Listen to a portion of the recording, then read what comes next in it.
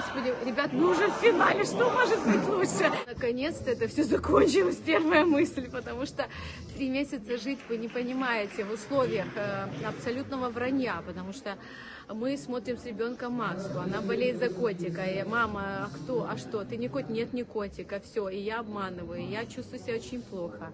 Мои близкие знакомые, ты не, потому что там начали какие-то догадки, ты нет, нет, я не, вот это вот, это, конечно, большое напряжение. Потом, э, что говорить, это очень сложно, потому что о, маска около 30 килограмм, на минуточку, 30 килограмм. Вот давайте возьмем мужчину, и пусть он оденет 30 килограмм, и просто потом просто поговорим.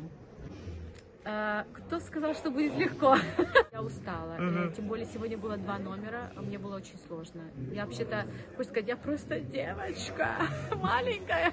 Похудела на два с половиной килограмма. Потом его старалась этих два килограмма быстренько, потому что я люблю жареную картошку, наедала. Что, ну, это, это легко, в этом проблем нет набрать. А Местами было очень а, неудобно. И где-то, смотрите, у меня кружилась голова, потому что там дышать нечем.